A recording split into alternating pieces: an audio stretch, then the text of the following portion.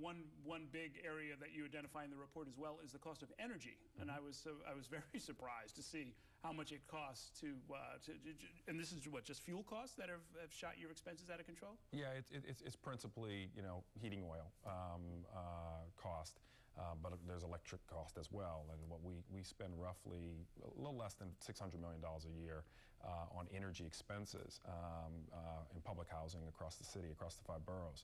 Uh, and so we are looking at massive ways that we can retrofit our buildings um, with, uh, with higher efficiency boilers, um, instantaneous hot water heaters, um, ensuring that the building envelopes are secure and that energy um, isn't, isn't creeping out and being lost.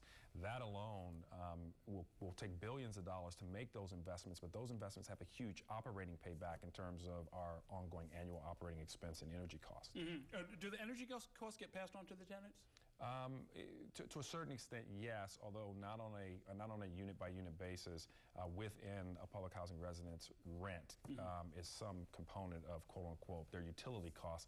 The problem is individual apartments aren't metered, and so it's not as if you know if Errol Louis uses less energy than John Rhea that there's a reflection in our our, our, our, our rent payments. Right, right.